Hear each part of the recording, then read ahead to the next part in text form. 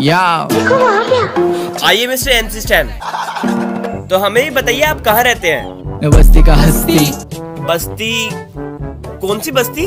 Town baby O D town में रहते हैं आप? हाँ। अच्छा ये बताइए आप सैलरी कितनी लेंगे? आने दो बेटी। बेटी? ऐसा क्या काम किया भाई तुमने? मैंने बॉम्बे में बचा एक बच्ची को। ओ बच्ची को बचाया है?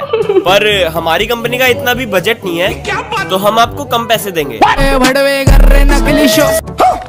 सर गाली मत दीजिए आप एक रैपर है। ये सब अच्छा नहीं लगता है आप पर। मेरा पर नहीं सर मैं ये कह रहा था कि आप मुझे गाली दीजिए ना। मैं